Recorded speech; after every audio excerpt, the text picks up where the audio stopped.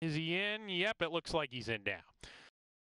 Ready to go. They're off in the finale, and Quantum Quest totally missed the break, drops to the back, hopped in the air at the start. Stretch run inside, showing the most speed with Rally Cat. Those two get acquainted on the lead. They lead by about a length and a half from a line of runners. Refi now. RMC Hookem between horses. Dr. Piscato's three deep. He's four lengths off the pace now, a clear fifth with a half mile to go.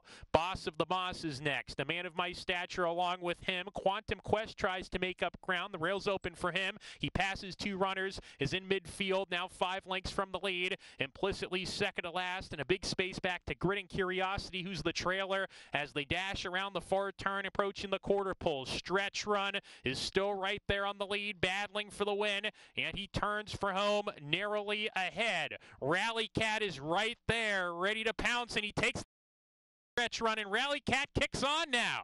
Rally Cat with a huge effort today. He's trying to finish the job right now, and he leads by two. RMC Hookem trying to run on Refi now. They're both catching Rally Cat, who's getting tired. RMC Hookem and Refi now, and Rally Cat held them off. Rally Cat at 17 to 1 wins the nightcap. RMC Hookem, Refi now, and Boss of the Boss. We're next. Photo for fifth.